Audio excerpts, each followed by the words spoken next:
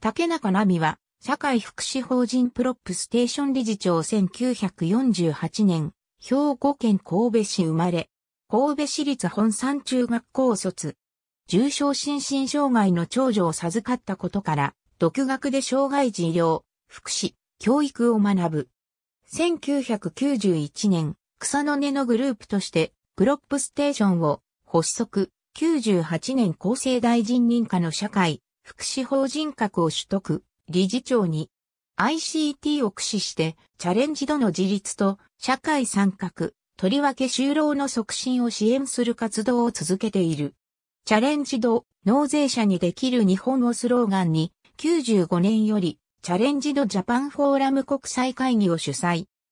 総務省スマートインクルージョンの実現に向けた懇談会委員、文部科学省中央教育審議会、初等中等教育文化会委員、財務省財政制度等審議会委員、内閣官房雇用戦略対話委員、社会保障国民会議員、総務省情報通信審議会委員、内閣府中央障害者施策推進協議会委員、国土交通省歩行者移動支援プロジェクト委員などを歴任。1999年10月、英本女性年度賞教育賞受賞。2009年春、米国大使館より勇気ある日本女性賞を授与さる。同年天皇皇后両陛下より春の園遊会に招かれる。2010年6月から2013年6月、NHK 経営委員。2012年4月、関西大学経済学部客員教授に就任。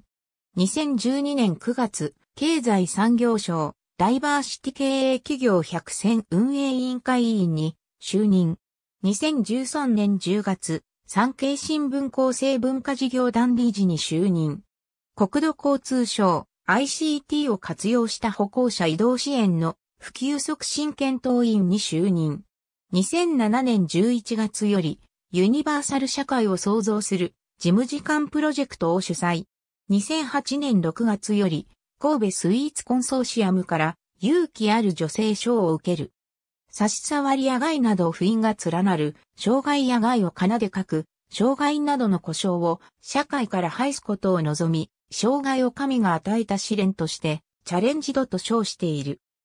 娘の重度心身障害罹患に親なき後の我が子の行く末を案じ、子は、親が生存せずも、生活可能で親は、この行く末を案ぜず安心して、生涯を終えられる社会を望み、1991年に、神戸市内で障害者自立支援事業として、プロップステーションを開始し、神戸市内にネットワークセンター、東京都内に東京事務所を置いている。プロップは英語の prop で支え、支柱、支える人、支え合いなどの意で、健常者は一方的支援で障害者を弱者に押し込まず、障害者は支援を少数集団で一方的に感受せず、個々人の気力や体力にかなう就労で自立し、納税で社会を担い支える者として、社会参加し、健常者や社会全体と対等に支え合える社会を望み、職業訓練により障害者を支援している。